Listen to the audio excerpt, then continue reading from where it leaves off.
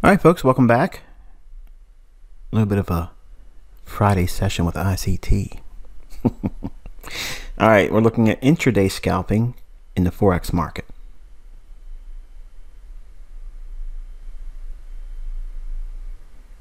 All right, so we're going to be covering briefly for those that are new to my work. Uh, this is the traditional open, high, low, close bar. Many of you are probably accustomed to using a candlestick when you're looking at charting. But I want to cover the central tenets to how I interpret price, how I read price, and then give you some homework to practice throughout this coming week. And then I'm going to review it with you in a video next Friday and give you some amplified teachings. But it's important that you go through, do your best. It may not be something you understand exactly what you're supposed to be doing. It's okay if you're that new. But if you've been around for a while and you've looked at some of my content, you probably know what I'm looking for. So with that, let's cover again the architecture of the daily range. The open, if this is a classic buy day, it's typically the day that everything goes up in the market and we're going to specifically deal with forex here so all the foreign crosses against the dollar might go up this particular day. It opens or the opening price for that particular trading day opens here. Hypothetically trades down very short distance from the opening. Large expansion on the upside and closes near the high of the day.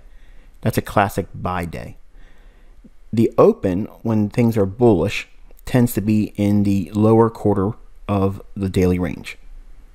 And generally, the low is not much below that when it's bullish. So it opens, goes down, finds the low of the day first, rallies up all day long, and then closes near the high of the day. The high is the highest price in that daily range. It's not important for you to know exactly what that price is. Okay, so for this homework assignment in this interactive learning experience, let's put it that way. Uh, it's not important for you to know or be able to predict what that high is. I have things that help you do that, but for this exercise and this lesson, try not to worry about that. Okay, you're only really trying to worry about finding something in the middle. Okay, and the low, obviously, when we're bullish, we're looking for the low to form right after the open. And then finally, the close, you're not trying to predict that either. So basically what we're trying to get at is you want to try to focus on a day when it's more likely to expand on the upside than that of going lower. How do you know that? How do you know which direction it's going to go? Well, I'm going to give you an example tonight, and I'm going to give you a very small sample set of data to go back in and back test. So I'm going to give you a very specific parameter in time, a very specific pair, so that way you're not looking for all different things. We're all going to be looking at the same thing. And hopefully you'll get very close to what I'm going to outline for you next Friday. So yes, for some of you hardline cynics out there, this is a hindsight teaching exercise.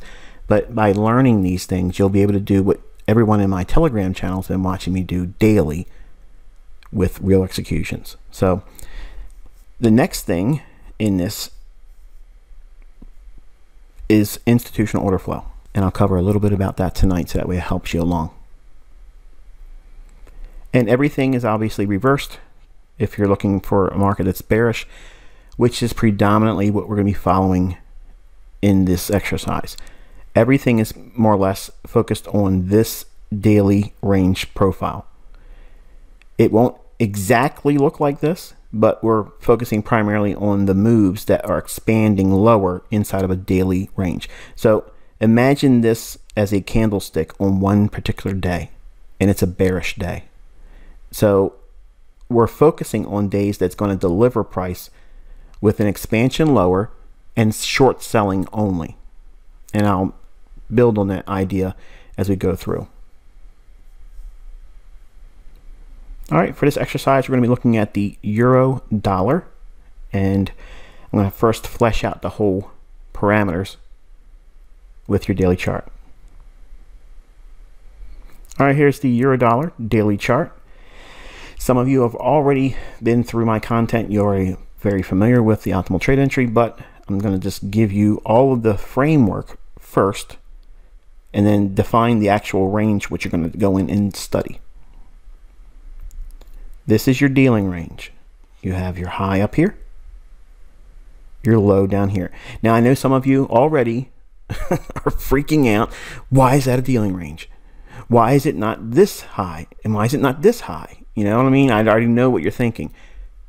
Try to push all those questions aside and just focus on the things I'm laying in front of you. Okay?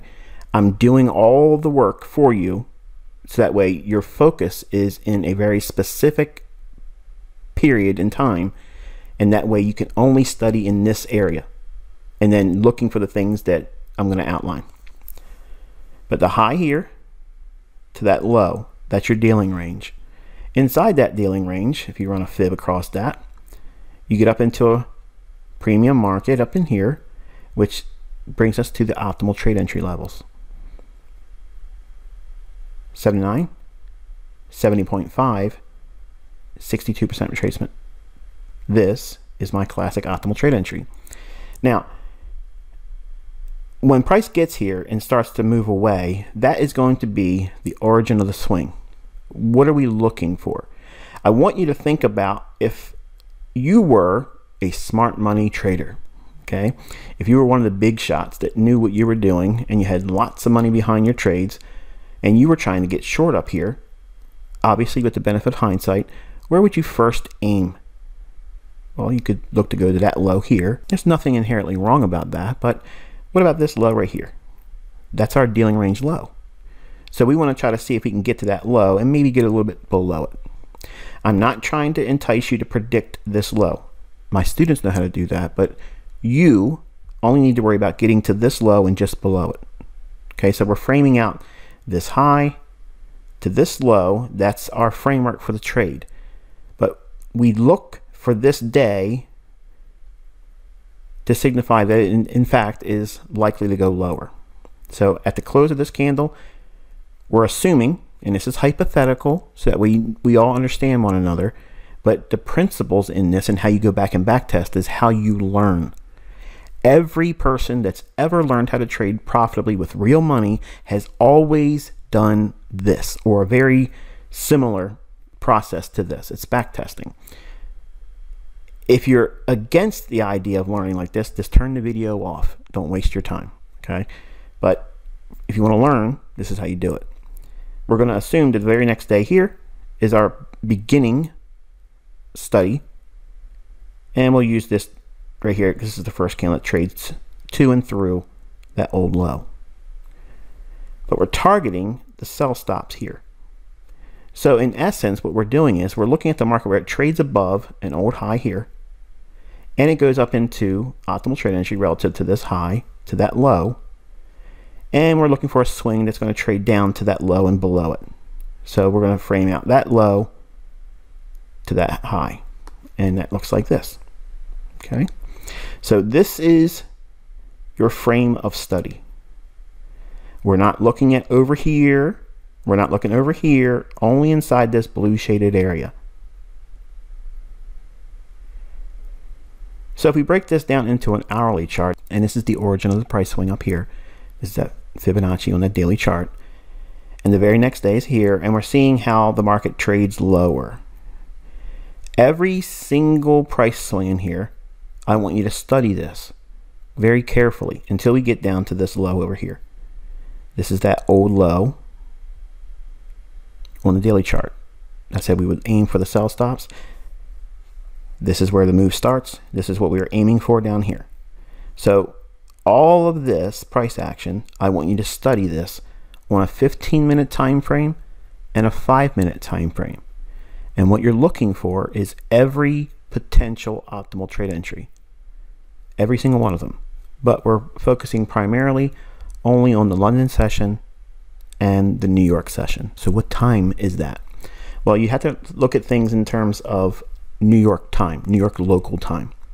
Now, this time of the month in March, we were not in daylight savings time. So you will have to look at right now if you set TradingView to New York time and today's date being March 19th, 2021, Uh, if you pull up TradingView and select New York as your TradingView time frame or your time zone, it's going to be UTC negative 4. If you set your time to Chicago, it'll put you at pre daylight savings time.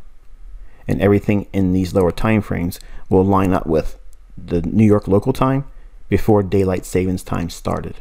Now it's probably confused a lot of you. Just go back and listen to what I just said. It's very clear. But you're going to go through a 15 and or 5 minute time frame and I'll do this with you next Friday. I'll have examples of what it is. But I want you to look for every potential optimal trade entry in those respective time zones or kill zones as I call them. London open kill zone, New York open kill zone. What frames that? Well, for your learning, we're just going to say 2 o'clock in the morning to 5 o'clock in the morning, London. And New York is 8.30 in the morning to 11 o'clock in the morning, New York Times, both in New York time, okay? If you do that and you go through each one of these price swings, zooming in a little bit here on the 15 minute time frame, you're going to be analyzing and looking for every pullback that offered the setup with an optimal trade entry. And you're going to look at how much time it took for the trade to unfold and how much drawdown each one offered you. Don't be afraid to see if you would have looked at an optimal trade entry and where it would have failed. Include that. That's actually a benefit to doing back testing because you can see where, and you have to be honest here because sometimes everyone likes to look at the chart and say, well, I'm just going to look at what works out. and you look at the times where it would have probably hurt you and your subconscious says, don't pay attention to that. No, pay attention to it. You're using the benefit of hindsight so that way you're not hurting yourself. It's very important that you balance that because you can sweet talk yourself into thinking you see something that's going to be flawless because you have the benefit of hindsight, but don't negate the opportunity for you to see where you would have failed looking for that type of setup. You're going to see that they don't fail that many times versus when they do work because you're trading institutional order flow that's bearish here. And again, with the benefit of hindsight, I know some of you outside my fold think this is ridiculous, but we talked about this in our own group. So it is what it is. But the point is this the first steps in learning is going back and looking at old data and familiarizing yourself with the pattern and seeing how it forms, how often it forms, and how often it fails. And having the data behind it, how many pips does it offer in profit? How much drawdown does it take for where you would get in at? And we're going to use 62% retracement. That's going to be your entry. Okay. Don't try to do the 70.5. Don't look for the 79% use 62%, okay? And frame it with the high, like I'll give you one of them just for the sake of suggesting how you should do it. From this high to that low, okay? It's not in the kill zone time. That's why I'm picking this one, so it's not taking anything away from you. This high to that low, 62, whatever that price is, that would be your hypothetical entry point. Your stop has to be five pips above the old high that you pulled your fib from. So in other words, dragging your fib from here to here, wherever 62% retracement level is, that's your entry price. That's your old high, and you add five pips to that. We're only selling short, so we're looking for bearish optimal trade entries.